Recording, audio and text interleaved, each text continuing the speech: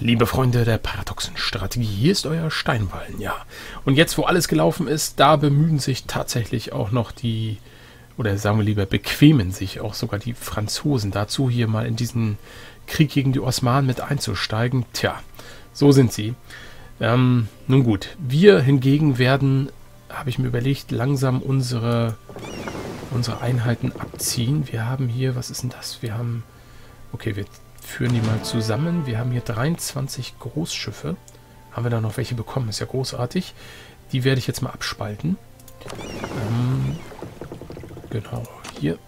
Wir werden nämlich langsam die Großschiffe mal abziehen und ja, wo bringen wir sie hin? Nach Valencia und stilllegen, denn sie werden nicht mehr benötigt. Nicht mal für die Blockaden und sie kosten ja doch eine Menge Geld. Deswegen ist, glaube ich, jetzt der Zeitpunkt gekommen, wo man das tun kann. Und wir haben hier oben noch zehn Großschiffe. Die kommen auch zurück nach Valencia. Und dann müsste es, ist das auch eigentlich gewesen sein. Ne? Das sind unsere Galeeren. Hier haben wir Transportflotte. Die Flotte ist hier. Das sind auch noch Galeeren. Ja, mit denen können wir da gerne ruhig noch bleiben. Und dann habe ich hoffentlich nichts übersehen. Was sind das für 10? Ach, hier sind noch zehn leichte Schiffe. Ach, das waren die Piratenschiffe, die wir gegen die Osmanen eingesetzt haben. Das machen wir... Nee, nicht Piraten jagen. Das machen wir nicht, sondern... Ähm, wieder auf Freibeuter-Mission würde ich sie senden. Und zwar...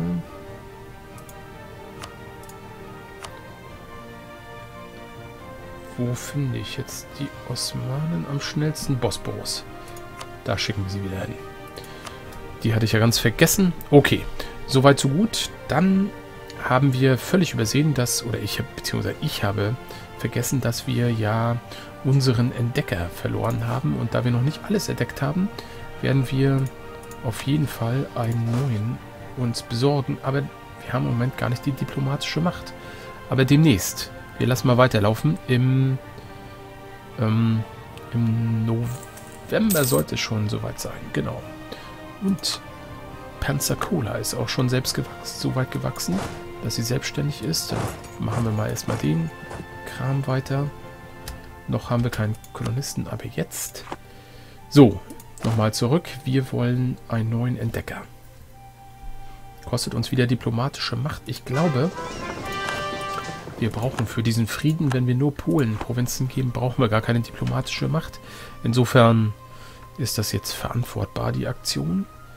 Aber wir wollen ja unbedingt weiter entdecken. So, und wo haben wir die Flotte? Hier. Und ich glaube, sie war mit ihrer Aufgabe noch gar nicht vorangekommen, die Küste von Beijing zu erkunden. Das wird der neue Mann also jetzt tun. So, und dann erinnere ich mich, dass wir hier unbedingt einen weiteren Hafen ausbauen wollten. Aber auch das geht jetzt nicht, weil wir nicht die Administrationspunkte dazu haben. Okay, dann ist das so, wie es ist. Wir... Und ich befürchte, als letztes noch gesagt, dass wir vermutlich damit leben müssen, dass wir nicht auf diese 80% kommen.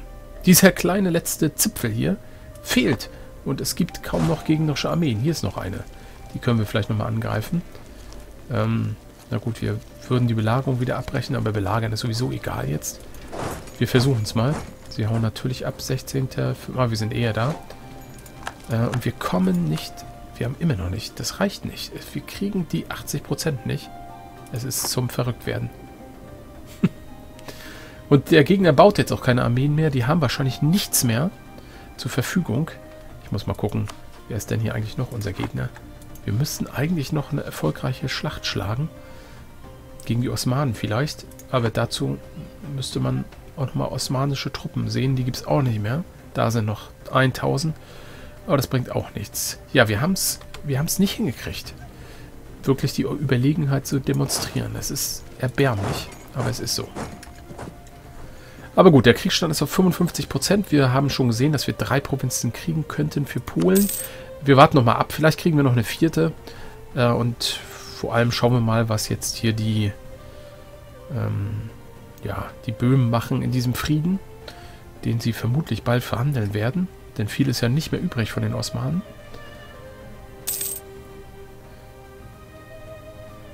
So, das Jahr 1557 äh, bricht an. Wir hatten doch, hatten wir nicht 40 Großschiffe? Irgendwo müssen noch Großschiffe versteckt sein. Das verstehe ich nicht ganz. Wo sind sie? Ich habe sie verloren. Sind die hier irgendwo? Da sind sie nicht. Ich muss jetzt doch nochmal alles durchgehen. Da sind sie auch nicht. Hier natürlich auch nicht. Hatten wir nur 30? Wir hatten noch 40 Großschiffe. Oder haben wir bei irgendeiner Schlacht Großschiffe verloren? Hm. Sie bleiben verschollen. Repariert brauchen sie nicht werden, sondern wir wollen sie direkt stilllegen. Und das sollte dann gravierenden Einfluss auf unsere Bilanz haben, die jetzt schon bei plus 30 liegt. Uha. Da können wir eigentlich direkt mal gucken, ob wir uns hier noch den einen oder anderen doch jetzt so richtig teuren Berater leisten können. Oder wir gehen auf plus 2 beim Militär, wäre auch eine Möglichkeit. Was gibt es denn hier? Der kostet 20 monatlich, anstatt 8, ne? Äh, anstatt 9. Okay, das wären 11. Das könnte man eigentlich mal akzeptieren. Aber wir brauchen eigentlich, brauchen wir vor allem jetzt administrative Punkte, weil wir hier unbedingt so schnell wie möglich auf 14 kommen müssen. Insofern gucken wir mal, nationaler Steuermodifikator plus 3. Und hier haben wir Produktionseffizienz. Ich glaube, wir machen das. Wir nehmen jetzt diesen, äh, Rashid ibn Idris. ja, ähm, gut. Da ist offenbar unser Enrique IV. tolerant genug, wenn es ums Geld geht. Auch einen eigentlich ja, verfeindeten, ketzerischen Schatzmeister zu wählen. Gut, auf jeden Fall unser Kriegsstand steigt 56 und auch Sumba ist eigenständig. Okay. Und das heißt, wir können hier irgendwo weitermachen. Was ist denn hier oben? Bouton. Wir können nach Flores gehen. Vielleicht nicht schlecht. Gibt es hier irgendwo eine wichtige Handelsprovinz? Hm, hier. Aber die ist schon durch Brunei besetzt. Ne, machen wir auf der Insel weiter. So, dazu brauchen wir aber diese Flotte, die ich da eigentlich schon längst hätte mal hinschicken können. Nein, wir können aber natürlich schon einen Kolonisten senden, ganz klar.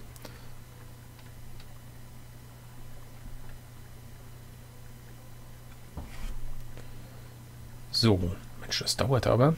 Ich glaube, wir können auch mal die Geschwindigkeit erhöhen. Der Krieg ist ja jetzt nicht mehr so spannend geworden. Und, was ist das? Barmanes ist verwestlicht. Das Sultanat Barmanes. Okay.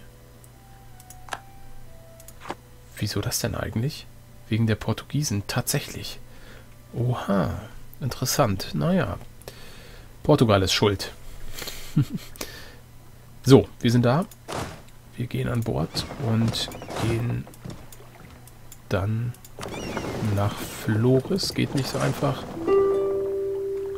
Und was haben wir? Ein Friedensangebot von Marokko. Das ignorieren wir natürlich völlig. Okay, und die Küste von Beijing ist erforscht. Damit sind hier komplett die Küsten erforscht. Als nächstes wäre eigentlich Korea dran. Mal gucken, ob es uns schon angezeigt wird. Die Wasser von Nippon. Oder Girin. Nehmen wir mal das. Ja, genau. So, wir sind immer noch nicht auf Flores angekommen. Barmanis dürfen wir nicht mehr angreifen, weil sie jetzt verwestlich sind. Das stört uns aber wenig. Und da marschieren wir hinauf. So, und Marokko ist jetzt davon überzeugt, dass sie nicht mehr gewinnen können. Und habe ich es etwa jetzt doch geschafft? Nee. Wir haben... Ja, das ist aber doch krass. 80% so knapp daran gescheitert. Ah, da ist noch eine marokkanische Armee. Vielleicht wird es doch noch was. Aber diesmal gehen wir mit unserer Armee dahin. Vielleicht wird es doch... Ach, da sind schon die Portugiesen. Zählt das jetzt auch für uns? Ja, tatsächlich. Wir haben es jetzt mit der letzten Schlacht haben es hingekriegt. Okay, das heißt theoretisch würde der Kriegspunktestand noch um 25% steigen können. Einfach so durch Zeitablauf. Das dauert allerdings auch seine Zeit. Aber die Zeit haben wir ja. Wir lassen das jetzt einfach mal laufen, kümmern uns nicht groß um die Dinge. Wir verdienen Geld ohne Ende. trotz des neuen Beraters immer, immerhin noch 25. Die nächste Kolonie ist fertig. San Augustin. San Augustin? Appalachie sehe ich hier. Ach, da. Ach so, ja, die ist nicht fertig. Da ist nur der Kolonist angekommen. Alles klar. Und die Azteken erklären den Mizteken den Krieg. Ich dachte, die werden jetzt alle miteinander verbündet. Das ist natürlich perfekt. Das ist für uns dann die Gelegenheit. Ähm, schauen wir uns das kurz an. Wir lassen sie mal ein bisschen kämpfen und dann erklären wir den Krieg. Und dann können unsere Vizekönige dort sich auch einmal ein bisschen üben an der Kunst der Kriegsführung. So, Dukala ist in unseren Händen. Ähm, tja, da ist nochmal der Gegner aufgetaucht, aber das ist eigentlich egal. Ich glaube, wir belagern jetzt mal Tlemcen. So, unsere Manpower ist aber absolut am Boden. Absolut am Boden. Wir brauchen eigentlich auch gar nicht so viel. Ich meinte, diese Kanonen, na doch, die sind schon hilfreich. Diese 7000 Kanonen, das geht schon sehr schön viel schneller. 63 Prozent. Langsam tickt, tickt das Ganze jetzt hoch. Und Marokko will Frieden. Ja, natürlich.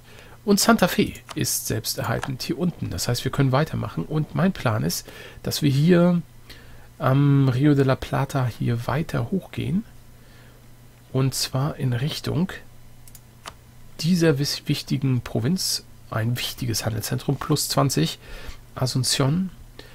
Da werden wir uns vorarbeiten. Das heißt, als nächstes hier. Aber was sind das für aggressive, aggressive Indianer? Das ist ja der reine Wahnsinn. So, das heißt, die 3000 Mann sollten hier unbedingt mal in den Dschungel gehen. Und wir gehen zurück hierhin. Okay, und wir kämpfen erstmal... Ach, das sind deutsche Ordenstruppen, die mit uns dort marschieren. Und endlich ist die schwere Plage ausgelaufen. Die hat uns richtig... Das hat richtig reingehauen. Jetzt müssten wir eigentlich im nächsten Monat, ja, plus drei oder vier Dukaten. Sehr schön. Und die Briten was ist denn das bitte? Die erklären den Mixteken den Krieg? Die wollen wieder Fuß fassen. Ich glaube es nicht. Wie bitte? Wie, kommen, wie wollen die denn da bitte hinkommen? Durch mein Land marschieren oder was? Ach, die haben...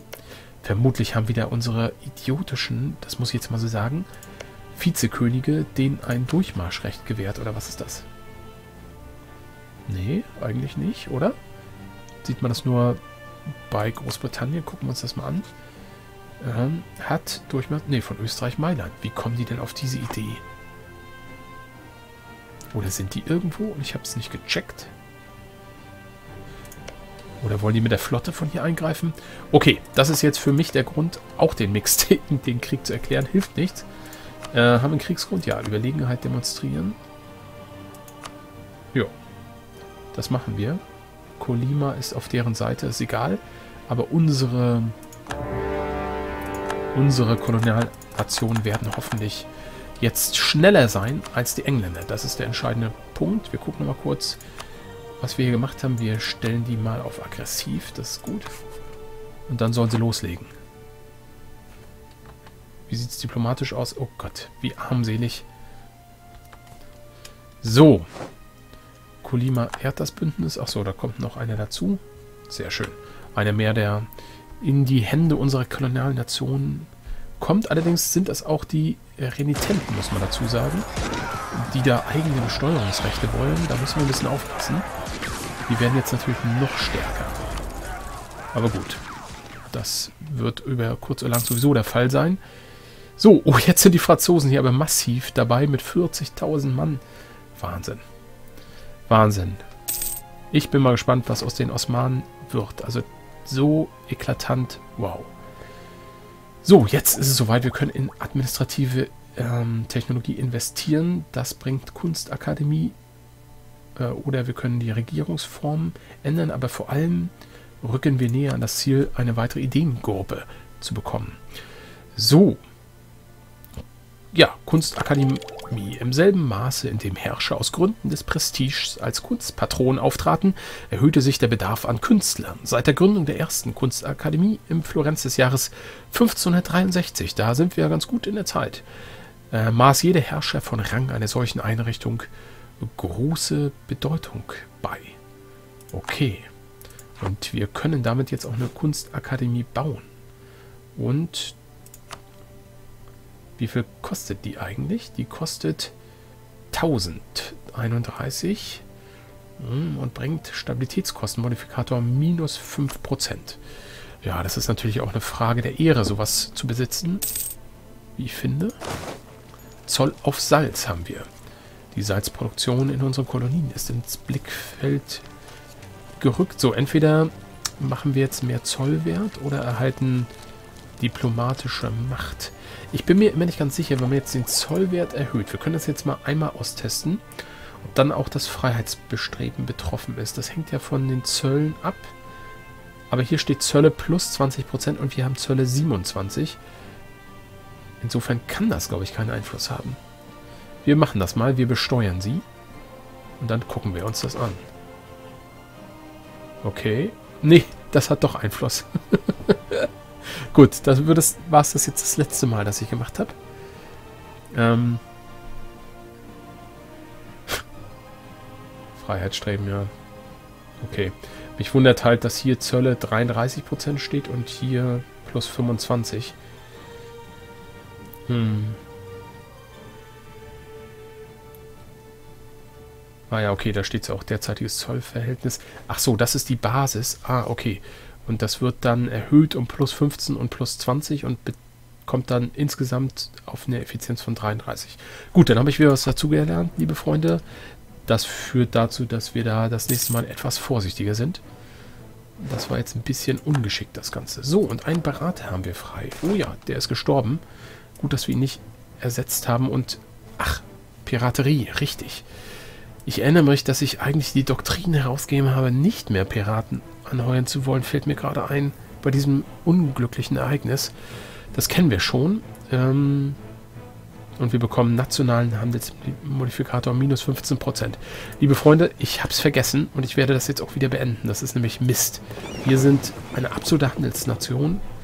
So habe ich nämlich das letzte Mal auch argumentiert und es ist einfach blöd. Es ist einfach blöd. Wir schneiden uns am Ende selbst ins Fell mit dieser Aktion. Also machen wir doch lieber Handelsschutz in Richtung Sevilla. Müssen das jetzt einmal hinnehmen. Und vor allem müssen wir einen neuen Berater anheuern. Und da nehmen wir den hier, Fausto Elcano. Gut. So, was macht der Kriegsstand? 75%. Ja, das ist doch gefällig. Das ist doch gefällig. Wir können es eigentlich immer noch weiter durchziehen. Es gibt keinen Grund, jetzt aufzuhören, bis wir nicht die 100% haben, ne? Da sind jetzt schon, die Litauer sind schon fast am Kaukasus. Ne, sie sind schon am Kaukasus. Was für ein Debakel. Wer ist denn da eigentlich jetzt? Ah, ein Regentschaftsrat auch noch. Der alte, ähm, der alte Mustafa I., der ist gestorben. Wahrscheinlich in Schimpf und Schande irgendwo verscharrt worden, was er dort mit diesem Land angestellt hat. Und ich sehe gerade, wir haben jetzt schon hier Verlustquoten. Das heißt, wir müssen hier mal welche rüberbringen. Oder wir könnten eigentlich mal die Söldner nach Hause schicken. Das hätte ich schon längst mal machen können. Also bitte... Ne, das sind jetzt nicht die Söldner. Das sind die Söldner. Ihr könnt nach Hause gehen. So. Euch brauchen wir nicht mehr. 77% und auch hier sind wir schon bei 30%. Wird hier schon fleißig belagert und vor allem sind die Engländer hier schon irgendwo. Hier sind die Azteken, hier sind die Spanier. Aber keine Engländer in Sicht. Das ist auch echt eine freche Aktion, muss man mal sagen. Eine wirkliche Provokation. Und die Silberflotte ist da. Und was wir echt auch mal tun müssten... Oh, wir haben einen neuen Kaiser. Franz II. Ist nach wie vor Kaiser. Ich dachte schon, es wackelt ein bisschen. Der ist aber noch nicht alt genug, aber ein sehr fähiger Mann. Drei Jahre und schon zum Kaiser gewählt.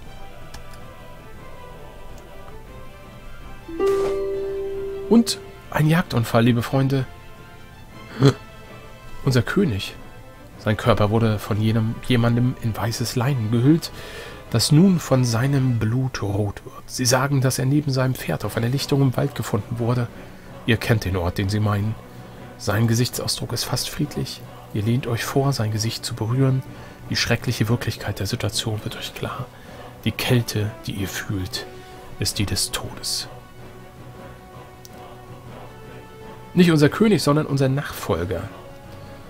Carlos wird sterben und wir können wählen, ob wir Prestige verlieren oder Stabilität. Und ich wähle aber Prestige. Stabilität will ich jetzt nicht verlieren. Naja, Carlos war sowieso nicht unser Lieblingsnachfolger.